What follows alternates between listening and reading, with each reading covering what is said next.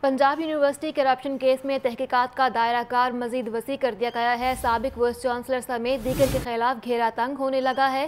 NAB نے جاری degree پر lecturer کی نوکری حاصل کرنے والی دیبا سے ریکارڈ طلب کیا ہے۔ اسی پر بات کریں گے نمائندہ لاہور نیوز محمد سکلین جاوید سے۔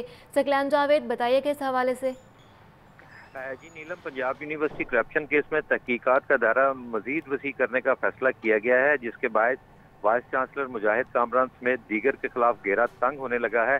نیب حکام کی طرف سے انکوائری کے بعد کچھ نئے انکشافات ہوئے ہیں، جس میں پنجاب یونیورسٹی کی لیکچرار دیبا اختر کو جعلی ڈگری پر نوکری دینے اور بیرون ملک پچاس لاکھ روپے کے اسکالرشپ دینے پر تحقیقات کا آغاز کر دیا گیا ہے۔ اسی سلسلے میں نیب کی طرف سے دیبا اختر کو نوٹس جاری کر دیے گئے ہیں اور اسے کہا گیا ہے کہ وہ اپنا پاسپورٹ تعلیمی اسناد اور دیگر دستاویزات لے کر نیب کے روبرو پیش ہوں، لیکن تین ہفتے گزرنے کے باوجود ابھی تک دیبا اختر نیب کے روبرو پیش نہیں ہوئی ابتدائی تحقیقات کے مطابق یہ پتا چلا ہے کہ دیبا اختر نے جعلی رزلٹ کارڈ پر ایم ایس بی این میں داخلہ لیا، پھر اسے ڈگری مکمل کرتے ہی پنجاب یونیورسٹی میں لیکچرار کی نوکری دے دی گئی۔ تاہم بی اے کے رزلٹ کارڈ پر ایم اے انگلش میں داخلہ کے لیے جب اس نے اپلائی کیا تو یہ جال سازی پکڑی گئی اور کنٹرولر امتحانات نے دیبا اختر کے ریزلٹ کارڈ کو جعلی قرار دیتے ہوئے رول نمبر سلپ جاری کرنے سے انکار کر دیا تھا۔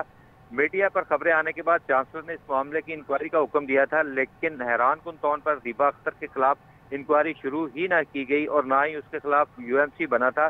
بلکہ اس کے خلاف کاروائی کرنے کی بجائے اسے یونیورسٹی میں مستقل لیکچرار بھرتی کر لیا گیا۔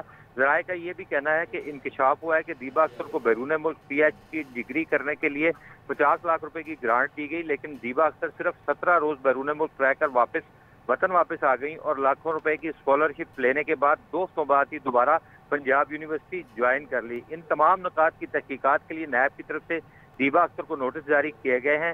جس میں دیبا اختر کو پاسپورٹ کلیمی اسناد اور دیگر جو ریکارڈ تھا وہ پیش کرنے کا حکم دیا، لیکن دیبا اختر پیش نہیں ہوئی۔ ذرائع کا کہنا ہے کہ خدشہ ہے کہ وہ فرار ہو چکی ہیں۔